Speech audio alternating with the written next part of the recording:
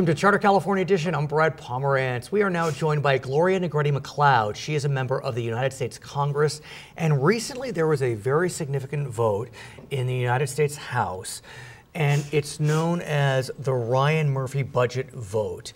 Um, many folks are hailing it as an example of bipartisanship. The vote was quite lopsided. A nice number of Democrats and Republicans came out in favor, but the congresswoman in front of me came out against. Why is that? Well, it didn't have everything that I thought a budget should have. It did not extend the most important thing, the unemployment insurance for all of those people in California, which is at the end of uh, December, it mm. was going to affect 200,000 Californians. Yeah, and let's talk about that because that has been a major source of contention. You are not the only Democratic member who voted against the Ryan Murray budget because of the question of the extension of unemployment benefits for the long term unemployed. And as you may know, Governor Brown recently came out um, urging the United States Congress, the United States Senate to extend the unemployment benefits for the long term unemployed. Why is it that this element in your mind did not make it into the final budget? Who knows? There was two people negotiating. Literally. Truly, it was a bipartisan, but two people, right. one from each party. Right, Senator Murray from Washington, and, and of course Congressman Paul, Paul, Paul Ryan. Ryan from Wisconsin. So, and so, is there anything that can be done on this issue? Well, I hope so. I hope uh, soon that we will go back and when uh, we will vote on to extend this insurance. I mean, my God you talk about uh, weakening the economy, those people that can't uh, buy things, they can't right. do that. Not only is it the 200,000 here in California, but it'll be 800,000 a little bit later on. So that is a lot. That's a million Californians. So what happens to these people? Do they then become eligible for welfare? I, I mean, I imagine so. But uh, my God, can you imagine you have a family and suddenly you have this little tiny bit of money right. and it's suddenly taken away. I mean, could one argue that this actually is not very cost effective because if you take away their long-term unemployment, they wind up on the welfare rolls, which becomes more expensive? Well, that's my supposition. Mm-hmm. So that's why I decided that I was not going to vote for it. And it also did it keep 75% of the sequester cuts yes, still in place? That's an interesting issue because there has been some discussion about the sequester. And this is a continuing resolution, right. not, you know, not a budget for two years. Again, so, come on. Yes, but let's talk about that sequester element because there was a lot of discussion about the sequester earlier in the year mm-hmm. and how draconian the cuts were, and we heard a lot of horror stories about what the sequester was going to do. There were some fixes with regard to airlines and other matters, but as a general proposition, I don't know, the sky didn't fall down per se. So do you feel as if maybe the sequester in the end may have been a good thing? It, it helps them bring some fiscal discipline, bring down the budget deficit? No, I, I didn't vote for the sequester because I wasn't there uh, when yes. they voted for the sequester. We mm-hmm. just had the after effects of the sequester right. that's ongoing. In my district, anybody that deals with the government was affected by sequester. So it's not a good thing. Right. Are you pleased, though, that some of the sequester cuts were frozen, eliminated? Well, for some, yes, but again, it did nothing to raise the debt ceiling. Did nothing. So we're going to go back whenever we go back into right. into session, and we're going to have to deal with these problems. So this was not the the best to fix everything. It's so interesting that it's been painted as a huge harbinger for the future. That finally the parties have come together, and if you look at it, it maybe not. It's all relative. I mean, sure, th- this is nice for, for 2013, 14, but when you think about what was happening in the last decade, I mean, this would have been laughable because in terms of putting it up as, as the example of bipartisanship. Well, uh, again, bipartisan by two people, but it wasn't right. what I was willing to vote for. So I took a chance and I said, no, I'm not voting for this. I want to speak with you, if I may, about the Affordable Care Act and the rollout of it. Uh, there's no question that California is facing, experiencing a different rollout than the rest of the nation, or at least those states that are focused on healthcare.gov as their portal. What's your sense of how covered California has done, especially as a member of the United States Congress? Well, we're one of the few states that did our own, you know, uh, I don't know what it's called. Con- the portal, yeah. Yeah, the yeah. Kentucky is also right. Kentucky's real good. done very well. Yes, and, and a couple of other states, but mm-hmm. I'm only concerned with California. Right. And so California has done a pretty good rollout. Mm-hmm. Is it the best thing? No, there's still some tweaks and fixes, but I don't know. I, I think at last count that I heard, it was like about I don't know seven hundred thousand, and I'm sure it's going up. There was a, a, a, newspaper article that said that in the month of November that had gone up. Right. There's, There's still some stuff. Um, but we still have to get people to, to go and understand that this is I want to talk about one segment of our society, and that's Latinos. Um, I know within your district there is a significant Latino population. We think about the entire state of California, about 29% of our state are Latinos. Mm-hmm. Um, yet when you look at the statistics for those enrolling in Covered California, maybe 3%, 5% are Latinos and or Spanish speakers. That's incredibly low when you look at their general population figures. What's happening in your mind? Why are Latinos not signing up through Covered um, California?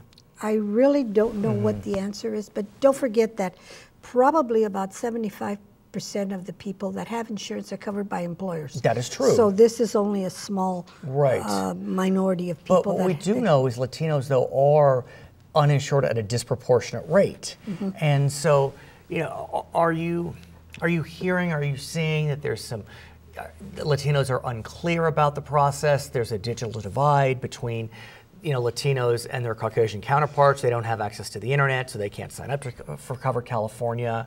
What, what is it? I don't know that that's a truism. Uh-huh. I, I don't know what the answer is, but um, I'm going to have to call somebody no, no, and find out no, what it no, is. No, but it's, it's, it's an interesting issue. Another issue that I know faces you and your district, considering that you represent significant portions of the Inland Empire, the foreclosure crisis. Mm-hmm. We have turned the corner, though. I think it's fair to say we've turned the corner. Yes, but there's still quite a few people that are still in are going to be nearing that crisis of foreclosure. Right, and so you've recently held a, are you held or you're going to hold? No, we held. You we held, held, it, a free home rescue fair. Why don't you tell me all about that? I'm fascinated to hear. Well, we we did a lot of outreach. We had we sent a lot of letters out to people that are on the verge of foreclosure. Right. And the funny part is we only had about 30 people that showed up. Really? Mm-hmm. Why is that? What do you think? I don't know. I don't know how you get people to come into these free things. Right. We had counselors, we had the banks there ready to to actually help them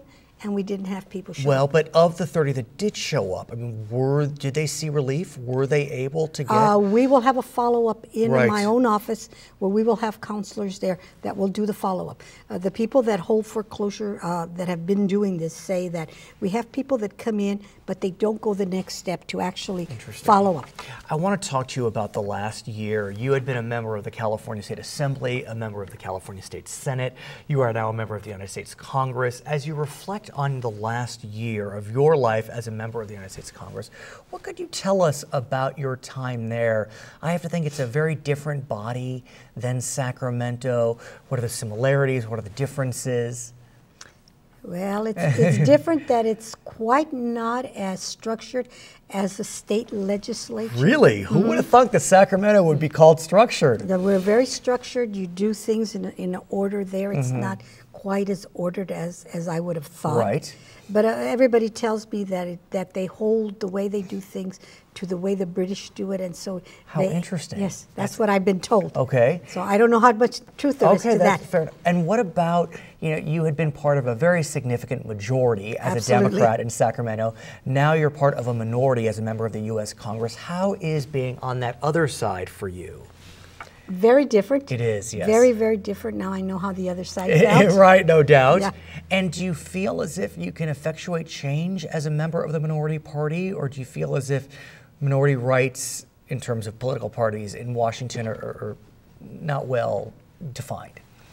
I don't think they're as well defined as I would wish. I, mm-hmm. you know, we, everybody that runs says they're going to, they hold the banner and, and, they say they're going to go in and change things. It's very hard for one person to change things. What really about is. creating friendships, relationships? Is that the well? You do that all the time right. in whatever kind of job you have. You. Okay, her name is Gloria Negrete McLeod. She is a member of the United States Congress. My name is Brad Pomerance. We're going to be right back on Charter California Edition.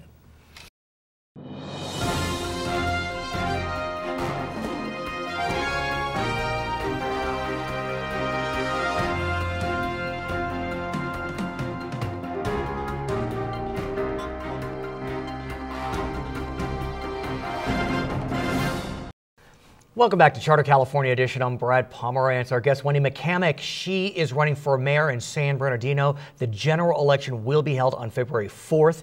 Uh, top two candidates have advanced. You're one of the two. And I want to speak with you about your city. You spent 13 years on the city council. You lived through the filing of the bankruptcy. I'm sure you're aware that Detroit is going through bankruptcy. Yes. And in Detroit, there was a ruling by a federal bankruptcy judge which indicated that Detroit could use its bankruptcy laws to roll back pensions uh, and promises to retirees. That is a huge ruling. As a former lawyer, I guess I still am a lawyer, huge. I mean, sent shockwaves throughout the entire nation, yes, as well as, as San Bernardino. What's your sense of this ruling?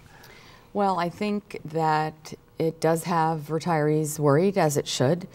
Uh, I think retirees have been worried from day one of right. filing of the bankruptcy prior to the Detroit ruling, which may only makes sense in that the city's then responsibil- responsibility for the continued unfunded liability requires that if they don't make those payments, that something has to give, and they know that the payments made to retirees would have to give. Right.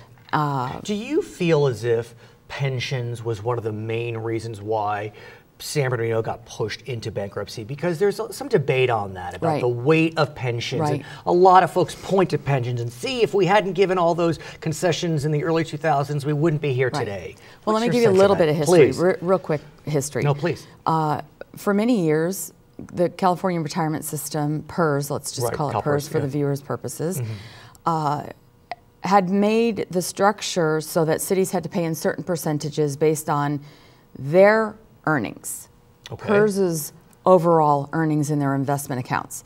So their board set the rates for each municipality or, or special Got district. Got it. So based on that, cities were then told you pay this amount per, per year for this year. When PERS made their financial mistakes, which were huge, right. they then said, okay, well, we can't hit you cities for our mistakes all in one, all in one mm-hmm. felt swoop. So we're going to smooth out your payments over the next three to five years, or we're going to re-amortize them over longer periods of time into the future, which raised our payments to no fault of the right. cities. Okay. That said, there are other issues that add to pension unfunded liabilities. We actually took out a pension obligation bond. We mm-hmm. did that in advance of knowing that PERS was not managing their funds correctly. So if we could stagnate the, the interest rate to that bond, that would then pay up some of that unfunded liability. That would, meant our future payments would be lower. Well, in effect, that's what happened. And the bond went through. The bond went through. It actually did lower. Overall, it lowered the payments that would have normally been made right. on that unfunded liability. But? No buts. That's it. However, when PERS then has more retirees going into the system because people are living longer. Of course, yes. It's just like Social Security. The amount of money necessary to make those monthly payments out of the PERS fund, it requires cities to pay more to make those payments. Okay, so that's one perspective Got in it. terms of the bankruptcy. But listening to the mayor a couple of weeks ago at a mm. neighborhood meeting, he clearly laid out that the removal of California redevelopment agencies mm-hmm. mm-hmm. created a, a, large problem for the city. It, Would you agree with that? I do partially agree okay. with that. It halted redevelopment, right. which created tax increment, right. which created tax base, which created jobs. Catalytic consequences. It's right. a it's a right. very big circular effect. Right. And uh, that was that was number right. two. Uh, n- number three, when you've got 50% rental right.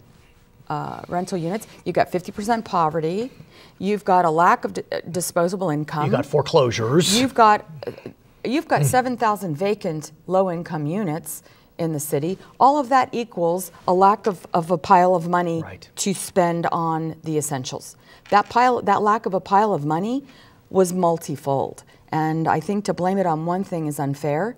But in, in terms of, of morality excuse me, in terms of. No, I understand uh, what you're saying. Yeah, yeah. I mean. Uh, you feel as if there's a moral obligation to pay what you promised to pay. To current retirees. To current, that's the key. That that was negotiated. If you want to look at a two-tier system for which we did, employees, and we've, we've implemented. Okay, yes. and so, but that is that's tricky. I mean, what the Detroit court is saying is not necessarily. Right. So I think the key for the retirees and the key for the voters, uh, some Right. of which are retirees, Yes, no doubt. need to understand that your next set of elected officials are the ones that are going to negotiate with the current labor groups, including a group of retirees, through the mediator, finally to the bankruptcy judge. And what has to be put on the platter is a multitude of things that will fix this bankruptcy, a multitude of reorganizations within, within what is owed. And I think if you do that and you do it properly and you get CalPERS to agree to a longer term amortization, which is exactly what they've done to us year after year, we then, I think, can make those payments to the retirees as promised. It's interesting. In the wake of the Detroit ruling, CalPERS became very public, and they talked about how they disagree with the ruling. You know, I read between the lines, and it seems to me they're a little nervous by it. Uh, frankly, they are. Yeah. Funny, however, at the last bankruptcy hearing, which I attended Right. as a non-elected official, right. Uh, I, But I- running for mayor, well, I feel it's still important. Right. Um, all of our investments are in that city. Everything that affects the city aff- in- course. affects us. And what I noticed was that all of a sudden, everybody, after two days of mediation, everybody on either side, all sides, said we're very encouraged by what's what, what was what was discussed. We're very encouraged with what the city put on the table. So what I'm wondering is, is the city giving away the farm? And if the city's giving away the farm, then they're not negotiating properly, in my opinion, in a way that would benefit as many people as possible. who who are the negotiators on the city side? Uh, well, it's the bankruptcy attorney. Okay. Okay. The uh, hired labor negotiator, who is a lawyer, outside lawyer. Uh, the mayor was there. Okay. Uh, the fourth ward councilman, Mr. Shorett, was there. Okay. Uh, the city finance consultant was there. The city finance director was there. I believe the city manager was there. Eight people went there. Okay. And, and they have been selected to be the negotiating team? Um, I would not know because Right. I wasn't on the council when they chose. but, well, what about prior? I mean, there was no prior. These are the first round of negotiations. The two days before Thanksgiving or the three days Right. before Thanksgiving, they went up to Reno and they negotiated. At least they laid on the table Right. to the mediator what the ideas were at that point. What's interesting is that was before the Detroit ruling. Yes, sir, it and was. so it's interesting. I wonder what will happen if they'll change their position. Well, I think CalPERS is also constitutionally uh, intertwined to the state constitution. Yeah, no doubt. And the Detroit City Pension Fund is not Yes. connected to the Detroit State Constitution. Right. So I think Michigan, therein right. lies a partial Distinction. set of wiggle Mm-hmm. room, if you want to call it that. I do know, however, that retirees need to understand, and the public needs to understand that when this, your city elected officials made a promise to current retirees, some of, some of whom make very little money on their Right. pensions, we have a moral obligation to make sure that we don't put them into poverty. As you may also know, the mayor of San Jose, Chuck Reed, Yes. is promoting a ballot initiative to give government agencies more leeway to impose cuts in pensions. Yes. And you know, the wording is still up for debate, but surely what he is looking at is for current employees. He wants to be able to break open the contracts.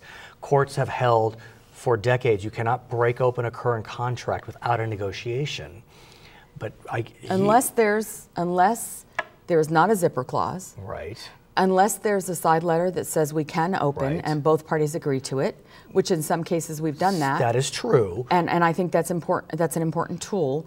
But I also think that if the voters give a mandate and it's a and it's a clear cut uh, argument to the voters, they truly understand what it all truly means. It may be a good tool in terms of leveraging negotiation tactics, leveraging. Hmm. You don't think it gives too much power to the government?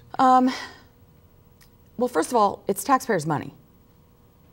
And in my opinion, you have a fiduciary responsibility to protect those taxpayers' money. And if that's a tool that you need, depending on how it I understand. comes Yeah, down devil the in the details. Devil, big time devil in the Her details. name is Wendy McCammack. She is a candidate for mayor of San Bernardino. That election will be held on February 4th. I'm Brad Palmer. It's his Charter California edition.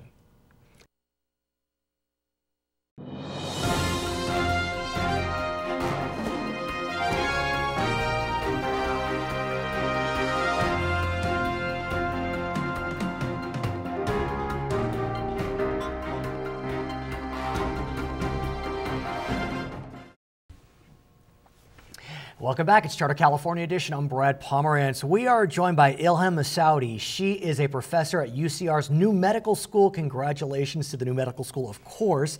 And we know our friends who work in politics will often enjoy wine at dinner. And so there's a big debate about how much wine one can consume. It's become lore that, oh, a glass a day is actually good for you.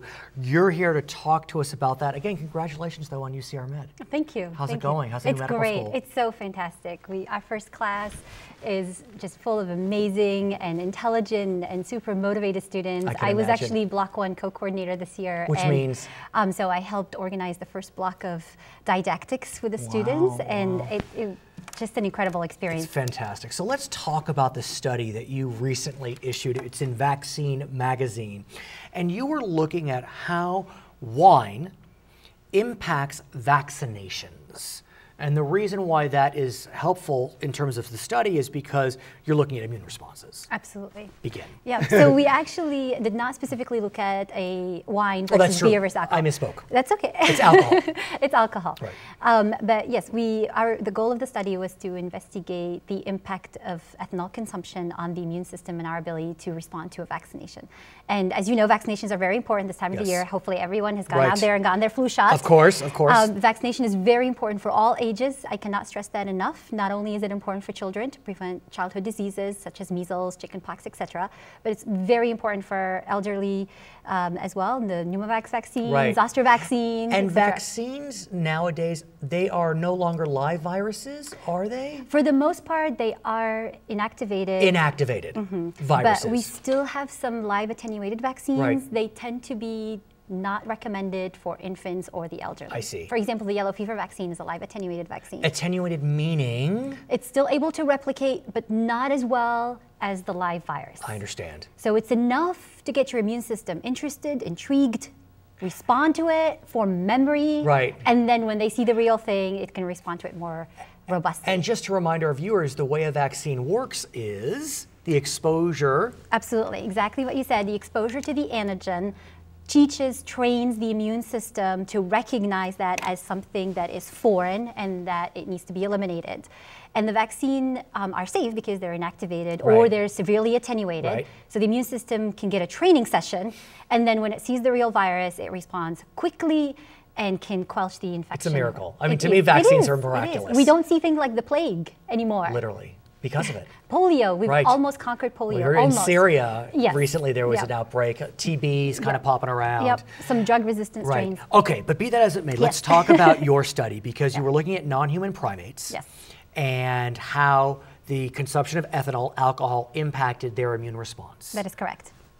Um, and so in this study, we looked at 12 rhesus macaques. Um, these animals were first trained um, to drink just like us humans. Usually, we don't just pick a bottle of wine on our No. own, or we usually get trained, some of us on college campuses. oh yes. But uh, so the monkeys were initially trained, um, they, um, and then they were allowed open access to alcohol, water, and of course, open access to food. And what was so fascinating and interesting is the animals um, that were exposed to ethanol segregated into different two different groups. So on their own, of their own volition, Right. they segregated it into animals that just drank occasionally and never drank to intoxication, and animals that consistently drank to intoxication. That's a study in itself. Absolutely. That's fascinating. Absolutely. And it must say a ton about uh, you know us because we're cousins to, exactly. to these we non-human share primates. significant Right. Mm-hmm. genetic homology with these animals, and so studying why one group became um, heavy drinkers versus the group that just stayed as moderate Right. is, in by itself, a very important question. But you were looking at those animals or primates, Mm-hmm. those that didn't drink, those that drank moderately, and those that drank to excess. Exactly. And how did that impact the eff- efficaciousness of the vaccine? Right. So in this study, we, f- we gave them a vac- the first. This vaccine is a two-dose vaccine. We gave them the first dose prior to any drinking. Was it smallpox? What was it's, it? It's a, yeah, so it's called modified Right. vaccinia ankara, and it's used. Um, it's against smallpox. Got It it. can protect you against smallpox. Um, so we gave them the first dose prior to any drinking, and then after seven months of this open access Right. period, we came back and boosted them. We gave them the vaccine again. Which is done standard. Absolutely, like You always get hepatitis. B Right, vaccine. you get the booster. Has you know a three? It's a three-dose Right. vaccine, for instance. Um, and what was you know we expected to see that the, you know, our expectation was that alcohol would actually dampen the immune response. And we saw that with the animals that drank to excess. Okay. But what was really surprising to us was that the animals that drank to moderation generated a better immune response than the animals that didn't drink at all. It's just unbelievable. Yes, absolutely. It was, yes, we, we That must have just. I mean, look, I sit, Right. sat back in my chair. you just can't believe it. No, we, and, and they, these responses were statistically significantly they were, yeah, higher. they were significant. Um, and so, and both both antibody responses as well as the T cell responses were higher. Those are the two main arms of the immune system. What is moderation? Um, so That's the key to me. What is Right. moderation? So in this particular case, we did not define moderation as a specific number of drinks per day. Okay. Because every person metabolizes ethanol Of very course, differently. right, right. And so for our definition, we use the blood ethanol concentration. Oh, like we- um, we like we do s- for humans. exactly. Exactly. 0.08 or whatever Exactly. right. That's exactly. So the animals that drank to moderation were in that range of 0.02 to 0.04 for So our study. If, and if Mm-hmm. you could make a comparison to human consumption, a standard adult male or female, is that a drink or two? it's it's a well for females it would probably be equivalent to one drink per One day. drink. No more than that. And then for a male, Uh, probably a couple of drinks, Okay. two to three, depending on again Right, the size, of size, the but person. a standard male maybe one- absolutely. one and and a then, or two. Um, so actually, the USDA dietary um, guidelines, Right. The, the the U.S. Department of Agriculture Got has it. a beautiful dietary guideline, and there is a whole section devoted to alcohol, and they define what is one drink for beer, wine, Okay. hard liquor, everything. I got it, got it, and okay. ev- you know, if anyone is interested, they could look it up Right. and see exactly what is the It's- say- definition. It's the U.S. Say it again. U.S. USDA, the, U- the U.S. Department of Agriculture. I'll have to. I'll try to put that on screen if I Dietary can. guideline. Yeah. Um, the newest version is 2010. and so, what? Why? What? Why do you think this is? So that's that's exactly where our studies are, are going to next. Um, this was a, you know, I went into the study originally thinking that we would only see negative effects, and so it would be a straightforward study, and we could. Isn't that more fun though? That Absolutely. you found the surprise. This is why I got into science. Exactly, and immunology. Um, and immunology, and it this opens a whole a whole area of research for us because um, we actually compared the obvious things like the number of T cells in circulation in the blood of these animals. How many CD8 T cells do they have? CD8 it- which is- CD8. Oh, these are like killer T cells. Got it, killer T versus cells. helper T cells. How many B cells do they have in circulation? What kind of B cells they have? And B We cells can- are? the antibody factories. Got it. Sorry. no, that's good. No, no, it's good. T cells, most of us know. But continue. Um, and so we compared just the numbers, and there was nothing obvious that could explain why the moderate drinkers were doing so well. And it was controlled, so you don't believe it was other factors. So I actually think that, um, and there's lots of d- literature to support this hypothesis, that alcohol consumption changes the epigenetics in our cells. means? So it modifies how we transcribe our DNA. Um, and we know environmental factors, stress, chemical exposure, toxins, um, even adverse events in childhood can change these modifications in our DNA that allows us to, say, make many more copies of one gene or completely represses that gene so we just don't make any copies of it. And we have hints. We're just starting to get Right. little insights Right. into this question. But it seems that different doses of ethanol imprint our DNA in slightly different ways. And so the end result is that our cells make different kinds of transcripts, different Right. kinds of genes come on or come off depending on the dose of ethanol. And in this case, if it's a moderate dose, the transcription seems to be beneficial. Right. And so our next studies are looking at well, what are the genes that are most affected by this Right. this dose dependent effect, um, and how does that link back to the actual function of the cells? So it's taking us in a whole new direction, and I'm glad that it wasn't an obvious answer. Like they have more helper T cells. I so am, I'm blown away. um, and then the other exciting thing Yes. about this is that if we figure out these little molecular tricks Right. that allow the immune system to respond better with moderate alcohol, we can now apply those to people who don't respond well to vaccination, such as the elderly. You have to come back. My name is Brad Palmer, so thank you so much for watching Charter California Edition.